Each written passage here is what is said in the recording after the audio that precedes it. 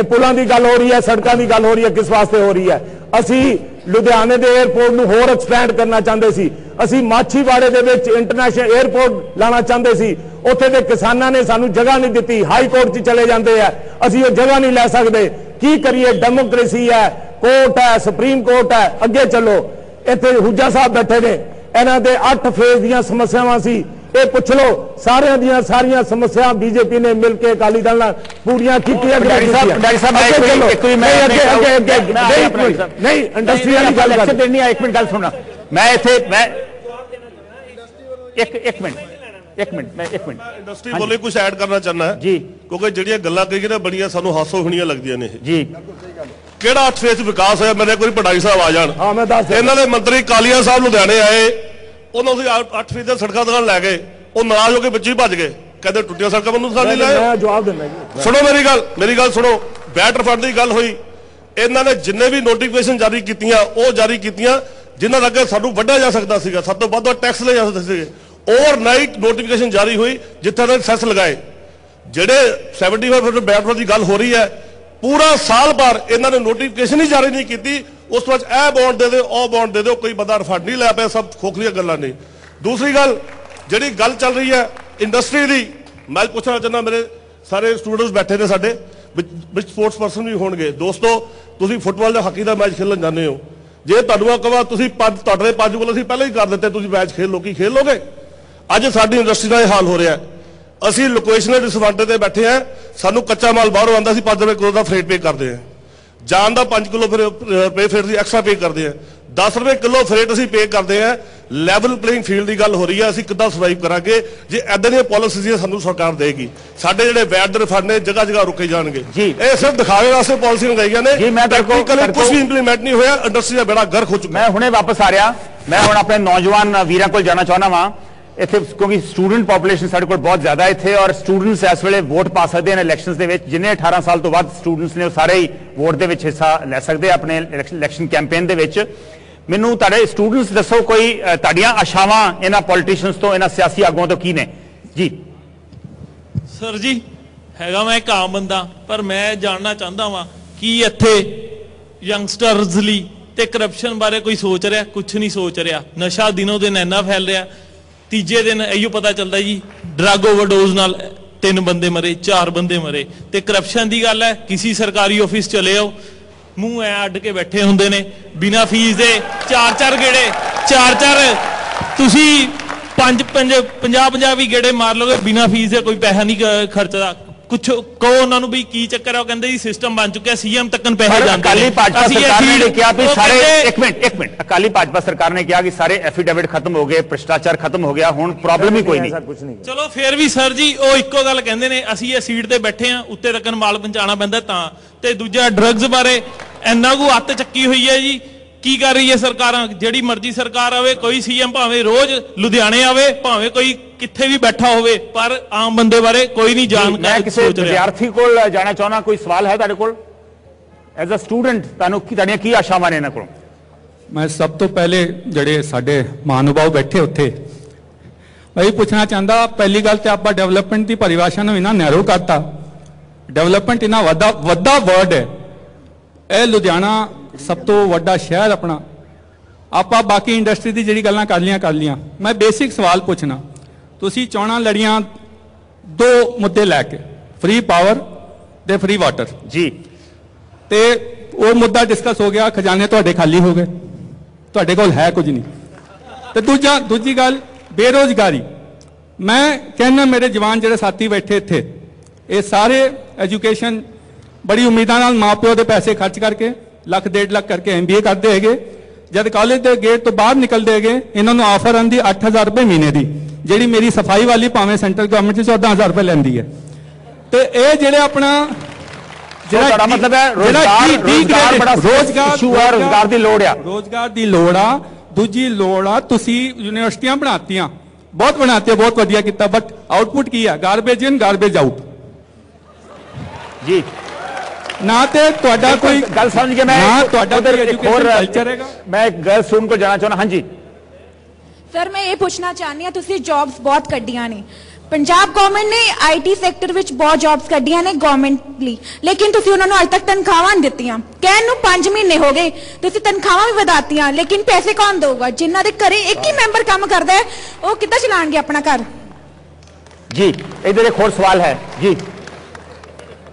Parliament ਨੇ decide ਕੀਤਾ ਸੀ ਕਿ 33% ਵੋਟਸ ਜਿਹੜੇ ਆ ਔਮਨਸ ਨੂੰ ਟਿਕਟਸ ਦਿੱਤੇ ਜਾਣਗੇ। ਪਰ ਸਾਰਿਆਂ ਨੇ ਰਲ ਕੇ ਤਾਂ ਸਿਰਫ 10% ਦਿੱਤੇ ਔਮਨਸ ਨੂੰ। ਕਿਉਂ? ਕਿਉਂ ਇਹਨਾਂ ਨੂੰ ਲੱਗਦਾ ਕਿ ਔਮਨਸ ਨਹੀਂ ਖੜ ਸਕਦੀਆਂ? ਜੀ ਇੱਕ ਇਧਰ ਸਵਾਲ ਹੈਗਾ। ਮੈਂ ਪੁੱਛਣਾ ਚਾਹੁੰਦਾ ਕਿ ਭਾਈ ਸਾਹਿਬ ਨੇ ਥੋੜੀ ਦੇਰ ਪਹਿਲਾਂ ਕਿਹਾ ਸੀ ਕਾਫੀ ਫਲਾਈਓਵਰਸ ਵਗੈਰਾ ਬਣੇ ਹੋਏ ਆ। ਐਜ ਫਲਾਈਓਵਰ ਦਾ ਕੀ ਫਾਇਦਾ? ਜਿੱਥੇ ਬਰਸਾਤ ਵਿੱਚ ਪਾਣੀ ਥੱਲੇ ਚੋਂਦਾ ਤੇ ਬੰਦੇ ਨੂੰ ਔਖਾ ਹੁੰਦਾ। ਐਜ ਨਾਲੋਂ ਤਾਂ ਫਲਾਈਓਵਰ ਨਾ ਹੀ ਹੋਣ ਉਹੀ ਬੈਸਟ ਆ। ਪਾਣੀ ਪਾਣੀ ਪਾਣੀ ਦੀ ਕੋਈ ਉੱਥੋਂ ਨਿਕਾਸੀ ਦਾ ਰਾਹ ਹੈ ਨਹੀਂ ਸਿੱਧਾ ਪਾਣੀ ਥੱਲੇ ਚੋਂਦਾ ਹੋਲ ਜਿਹਾ ਕਰਕੇ ਪਾਣੀ ਸਿੱਧਾ ਥੱਲੇ ਕੱਢਿਆ ਹੋਇਆ ਵਾ। ਲੱਕੜ ਪੁੱਲ ਦਾ ਲੈ ਲਓ 5 ਸਾਲ ਹੋ ਗਏ ਉਹ ਲੱਕੜ ਪੁੱਲ ਉੱਥੇ ਉੱਥੇ ਖੜਾ ਚਾਹੇ ਕਾਂਗਰਸ ਚਾਹੇ ਬੀਜੇਪੀ ਜੋ ਵੀ ਆ ਕੋਈ ਕੰਮ ਨਹੀਂ ਕਰ ਰਹੀ। ਚਾਹੇ ਕਾਂਗਰਸ ਚਾਹੇ ਬੀਜੇਪੀ ਕੋਈ ਕੰਮ ਨਹੀਂ ਹੁੰਦਾ। ਇੱਕ ਗੱਲ ਹੋਰ ਥੋੜੀ ਥੋੜੀ ਦੇਰ ਪਹਿਲਾਂ ਇੱਕ ਮੁੱਦਾ ਉੱਠਿਆ ਸੀ ਕਿ ਖੰਗੂੜਾ ਸਾਹਿਬ ਇੰਗਲੈਂਡ ਤੋਂ ਆਏ ਨੇ ਬਟ ਐਵੇਂ ਜਿੱਥੋਂ ਵੀ ਆਏ ਸਾਨੂੰ ਉਹ ਕੋਈ ਪ੍ਰੋਬਲਮ ਨਹੀਂ। ਸਾਡੇ ਮੇਅਰ ਹਾਕਮ ਸਿੰਘ ਗਿਆਸਪੁਰਾ ਨੇ ਵਿਜ਼ਿਟ ਕਾ ਕੀਤੀ ਬਾਹਰ? ਉਹ ਵੀ ਕੁਝ ਸਿੱਖਣ ਗਏ ਸੀਗੇ ਤੇ ਉਹਨਾਂ ਨੇ ਕੀ ਕੀਤੀ ਹੈ এনवायरमेंट ਕੀ ਕੀਤੀ ਹੈ ਕੀ ਉਹਨਾਂ ਨੇ ਪ੍ਰੋਜੈਕਟ ਲਾਏ ਆ? ਜਿਹੜਾ ਬਾਹਰੋਂ ਸਿੱਖ ਕੇ ਆਏ ਆ। ਜੇ ਇਹਨਾਂ ਨੇ ਨਹੀਂ ਕੁਝ ਸਿੱਖਿਆ ਤਾਂ ਉਹਨਾਂ ਨੇ ਸਿੱਖ ਕੇ ਵੀ ਕੀ ਕਰ ਲਿਆ ਜੀ ਬਿਲਕੁਲ ਜੀ ਇੱਕ ਹੋਰ ਨੌਜਵਾਨ ਉੱਥੇ ਸਵਾਲ ਪੁੱਛਣਾ ਚਾਹੁੰਦੇ ਆ। ਸਰ ਮੈਂ ਇਹ ਪੁੱਛਣਾ ਚਾਹੁੰਦਾ ਵੀ ਭਾਵੇਂ ਲੁਧਿਆਣਾ ਇੰਡਸਟਰੀ ਏਰੀਆ ਹੋਊਗਾ ਪਰ ਕਿੰਨੇ ਨੌਜਵਾਨ ਇੱਥੋਂ ਦੇ ਪੜ੍ਹੇ ਲਿਖੇ ਜੌਬ ਕਰਨ ਲਈ ਬਾਹਰ ਜਾ ਰਹੇ ਆ? ਇੱਥੇ ਕੋਈ ਵੀ ਆਈਟੀ ਦੀ ਕੰਪਨੀ ਹੈ ਜਾਂਦੀ ਜਿੱਥੇ ਅਸੀਂ ਜੌਬ ਕਰ ਸਕੀਏ। ਅਸੀਂ ਜਦੋਂ ਵੀ ਪੜ੍ਹਦੇ ਸਿਰਫ ਇੱਕੋ ਹੀ ਇੱਛਾ ਲਾ ਕੇ ਬੈਠੇ ਹੁੰਦੇ ਲੁਧਿਆਣੇ ਕੋਈ ਜੌਬ ਨਹੀਂ ਸਾਨੂੰ ਇੱਥੋਂ ਛੱਡ ਕੇ ਬਾਹਰ ਜਾਣਾ ਪੈਂਦਾ ਵਾ। ਕਿ ਅਸੀਂ ਇੱਥੇ ਜੌਬ ਕਰਕੇ ਕੋਈ ਡਿਵੈਲਪਮੈਂਟ ਨਹੀਂ ਕਰ ਸਕਦੇ ਉਹਨਾਂ ਦੀ। ਔਰ ਅੱਜ ਕੱਲ ਦੇ ਟਾਈਮ 'ਚ ਜੇ ਅਸੀਂ ਮਾਪਿਆਂ ਨੂੰ ਕਹਿੰਦੇ ਹਾਂ ਕਿ ਅਸੀਂ ਆਈਟੀ ਕਰਨੀ ਆ ਤੇ ਜਾਣਾ, ਕਰਦੇ ਕਹਿੰਦੇ ਆ, ਜੇ ਤੁਸੀਂ ਪੰਜਾਬ 'ਚ ਕਰਨੀ ਹੈ ਤੇ ਬੀਏ ਕਰੋ ਇਸ ਨਾਲ ਚੰਗਾ। ਜੇ ਅਸੀਂ ਆਈਟੀ ਕਰਕੇ 8000 ਸਾਰੀ ਲੈਣੀ ਆ, ਫਿਰ ਸਾਨੂੰ ਐਮਸੀਏ ਐਮਟੈਕ ਕਰਨ ਦੀ ਕੀ ਜ਼ਰੂਰਤ ਆ? ਹੈ ਹੀ ਨਹੀਂ ਆਈਟੀ ਹਰ ਸਾਲ ਲਾਲਾ ਲਾ ਜਾਂਦਾ 5 ਸਾਲ 'ਚ ਆਈਟੀ ਆਏਗੀ 6 ਸਾਲ 'ਚ ਆਈਟੀ ਆਏਗੀ। ਚੰਡੀਗੜ੍ਹ 'ਚ ਅੱਜ ਵੀ ਕੋਈ ਵੀ ਜਾਂਦਾ, ਕੋਈ ਵੀ ਜੋਬ ਲੈਣ ਜਾਂਦਾ, ਸਿਰਫ 15000 ਸੈਲਰੀ ਇਹੀ ਬੈਂਗਲੌਰ 'ਚ ਜਾਂਦਾ, ਉੱਥੇ ਉਹਨੂੰ 30000 ਸੈਲਰੀ ਮਿਲਦੀ ਆ। ਇਹ ਕੀ ਡਿਫਰੈਂਸ ਕੀ ਆ? ਹੈ ਤਾਂ ਸਾਰੇ ਇੰਡੀਆ ਦੇ ਪਾਰਟੀ ਨਾਲ ਜੀ, ਬਿਲਕੁਲ ਠੀਕ ਹੈ। ਜੱਸੀ ਜੀ ਕਈ ਇਸ਼ੂਜ਼ ਸਟੂਡੈਂਟਸ ਨੇ ਸਾਡੇ ਨੌਜਵਾਨਾਂ ਨੇ ਰੇਜ਼ ਕੀਤੇ। ਕਾਂਗਰਸ ਕੋਲ ਇਹਨਾਂ ਸਭ ਇਸ਼ੂਜ਼ ਦਾ ਕੀ ਹੱਲ ਹੈ ਬਰੀਫਲੀ ਸੰਖੇਪ ਦੇ ਵਿੱਚ ਸਿਰਫ 2 ਮਿੰਟ ਦੇ ਵਿੱਚ ਆਪਾਂ ਸਮਾਂ ਬਹੁਤ ਥੋੜਾ ਰਹਿ ਗਿਆ ਹੁਣ। Um, some of the fundamental issues we're in a college. ਜੀ। ਆਪਾਂ ਕਾਲਜ ਦੇ ਵਿੱਚ ਡਿਬੇਟ ਕਰ ਰਹੇ ਹਾਂ ਸ਼ੋ ਲਾਈਵ ਆ ਰਹੀ ਆ। ਇਹ ਜਿਹੜੇ ਸਟੂਡੈਂਟਸ ਇੱਥੇ ਪੜ੍ਹਦੇ ਨੇ ਇਹਨਾਂ ਨੇ ਗ੍ਰੈਜੂਏਟ ਕਰਨਾ। ਪਿਛਲੇ 5 ਸਾਲਾਂ 'ਚ ਗ੍ਰੈਜੂਏਟ ਅਨਇੰਪਲੋਇਮੈਂਟ ਇਨਕਰੀਜ਼ ਹੋਈ ਆ। ਗ੍ਰੈਜੂਏਟਸ ਦੀ ਬੇਰੋਜ਼ਗਾਰੀ ਵਧੀ ਆ। ਸਭ ਤੋਂ ਵੱਡੀ ਅਫਸੋਸ ਦੀ ਗੱਲ ਇਹ ਆ ਵੀ ਸਰਕਾਰ ਸੋਚਦੀ ਨਹੀਂ ਵੀ ਜਿਹੜੇ ਬੱਚੇ ਮਿਹਨਤ ਨਾਲ ਪੜ੍ਹਦੇ ਨੇ, ਉਹਨਾਂ ਦੇ ਪ੍ਰੋਸਪੈਕਟਸ ਕੀ ਆ? ਪ੍ਰੋਸਪੈਕਟਸ ਤਾਂ ਇੰਪਰੂਵ ਹੋਣਗੇ ਜੇ ਆਪਾਂ ਸਟੇਟ ਨੂੰ ਇੰਡਸਟਰੀਅਲਾਈਜ਼ ਕਰਾਂਗੇ ਤੇ ਆਪਾਂ ਸਰਵਿਸ ਸੈਕਟਰ ਨੂੰ ਪ੍ਰਮੋਟ ਕਰਾਂਗੇ। Industrialisation of Punjab has come to a halt ਪਿਛਲੇ 5 ਸਾਲ ਚ manufacturing sector is in decline service sector grow ਕਰ ਰਿਹਾ but that is because we are a consumer society.